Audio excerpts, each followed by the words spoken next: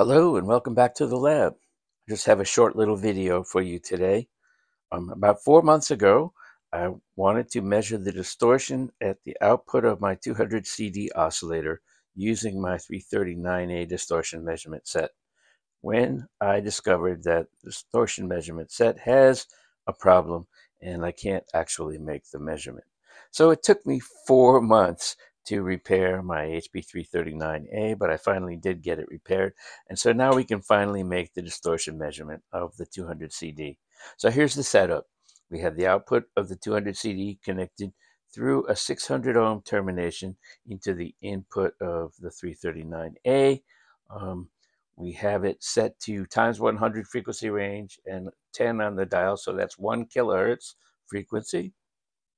Um, our input range is set to 10 volts, and we are measuring exactly 10 volts RMS. I have the amplitude knob of the 200 CD set to like 90%, so it will put out a little bit more than 10 volts RMS into a 600 ohm termination, but we have it dialed up to exactly 10 volts RMS. When we switch to distortion mode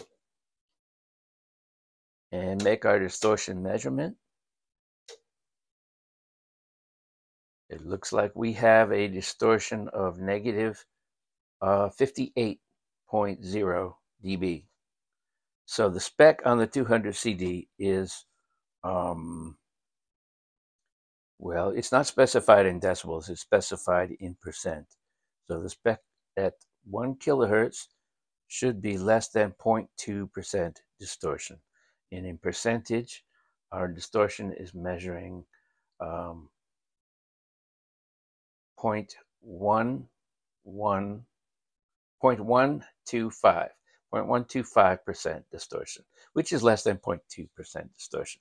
So our 200 CD is within its distortion spec, at least at one kilohertz. So I can finally make my measurement after all this time. Thank you very much for watching.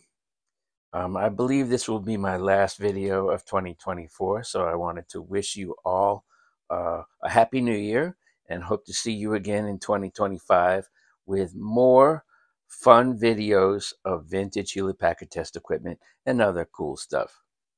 Thanks for allowing me to share my hobby with you all, and I hope to see you again in the coming year.